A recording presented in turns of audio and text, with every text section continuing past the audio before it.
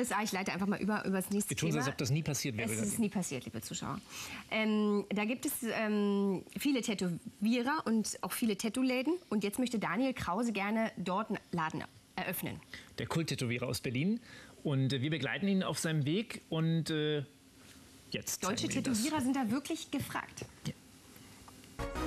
Kopf hoch und Brust raus.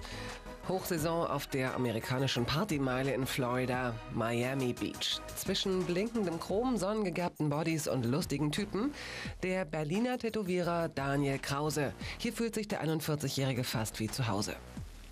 In den USA eigene Läden zu haben, das ist genau der Traum von Daniel und seinem Kumpel Marco Streng.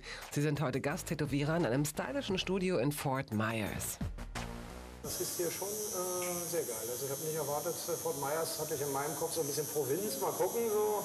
Aber das ist hier sehr eindrucksvoll. So vermischt mit Galerie, das ist hier äh, eine Sache. Ich bin jetzt schon gespannt auf den Tätowierer, weil das ist auf jeden Fall mal eine Adresse. Also das ist schon sehr cool. Und wenn wir hier ein bisschen landen können, ich glaube, da wir, stehen wir in der ersten Reihe. Das Studio gehört dem 34-jährigen Amerikaner Andrew Howell.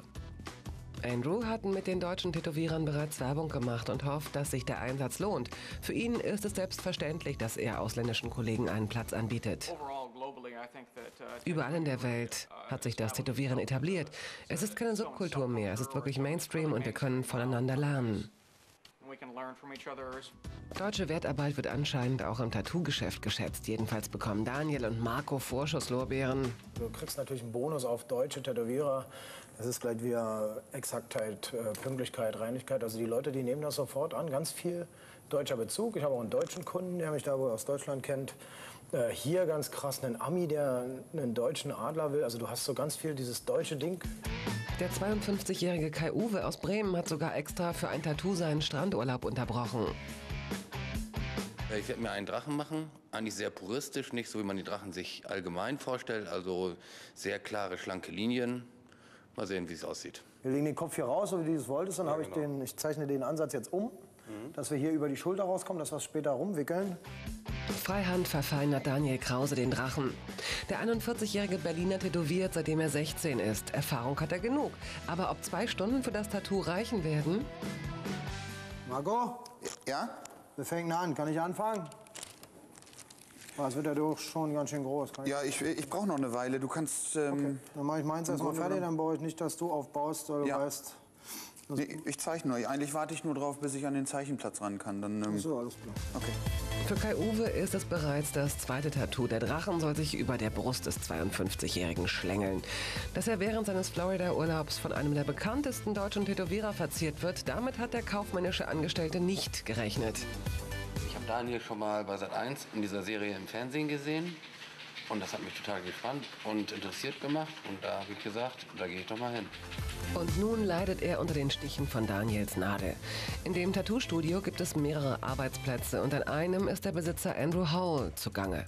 Ein Investmentbanker will den Wall Street Bullen für immer bei sich tragen, das Zeichen für Risiko und steigende Kurse an der New Yorker Börse. Hier wird übrigens anders gearbeitet, als Marco und Daniel es kennen. Er hat hier seine Vorlage, arbeitet erst die Flächen und setzt dann seine Outlines, um hier Akzente zu setzen. Auch die Amerikaner sind neugierig, wie die Deutschen arbeiten. US-Tätowierer Steve Banana hat allerdings eine eigene Vorstellung von der Tattoo-Kunst.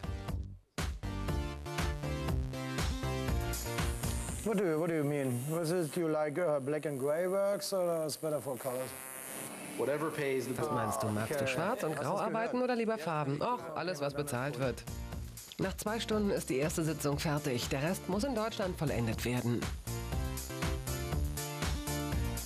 Das ist normalerweise schon total verboten, jetzt Sonne und weiß was nicht noch alles. Aber ich glaube, wenn wir das Ding komplett fertig machen, dann darfst du nicht mal mehr aus dem Zimmer raus. Weißt du, so kannst du über die Stelle ordentlich was abdecken und dann ist gut. Weißt du? Alles klar. Strandverbot für den Drachen. Protzen und Angeben mit dem Tattoo ist für Kai Uwe erstmal verschoben. Auch Studiobesitzer Andy Howell ist gleich fertig. Er hat ja einem Investmentbanker den Wall Street Bullen auf den Oberarm tätowiert. Das Banker-Symbol schimmert in satten Farben. In Deutschland wäre das verboten. Der amerikanische Markt ist anders. Wir haben ein ganz anderes Farbgesetz. Ähm, wir dürfen nicht mehr alles benutzen. Wir haben früher auch viele Farben aus Amerika gehabt, die jetzt nicht mehr statthaft sind. Ähm, schade, weil die waren sehr brillant. Einige Zusatzstoffe in den amerikanischen Farben haben in Deutschland keine Zulassung und wurden sicherheitshalber verboten. Das stört den Banker aber nicht. Mit seinem Wall Street Bullen auf der Schulter hofft er auf mehr Glück an der Börse. Und unsere beiden Tätowierer diskutieren schon das Motiv des nächsten Kunden.